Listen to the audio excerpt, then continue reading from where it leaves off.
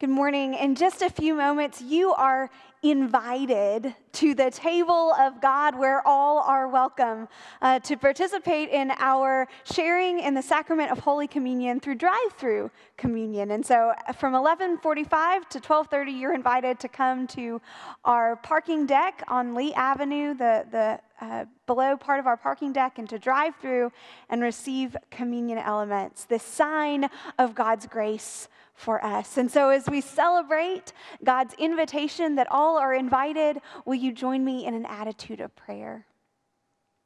God, we give you thanks for your abundant love from the times of creation all throughout our human history to the moment when you sent Jesus into the world, anointing him with your spirit to preach good news to the poor, recovery of sight to the blind, release to the captives, to set it free those who were oppressed, and to proclaim that the day had come when you would free your people. We celebrate God that as he sat down on that last meal with his disciples, that he took bread and he gave thanks to you, blessed the bread, gave it to his disciples, and said, Take, eat. This is my body, which is given for you. Do this in remembrance of me. We give thanks that when the supper was ended, he took the cup. Again, he gave thanks to you, gave it to his disciples, and said, Drink from this, all of you.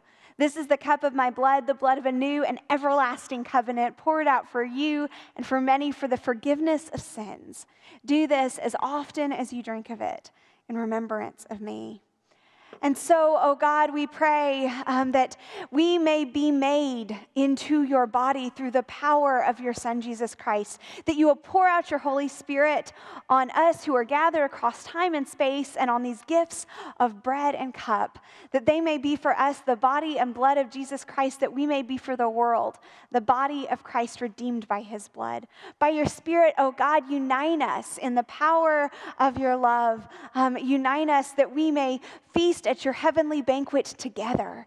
Through your Son, Jesus Christ, with your Holy Spirit and your holy church, all honor and glory is yours, Almighty God, now and forever. Amen.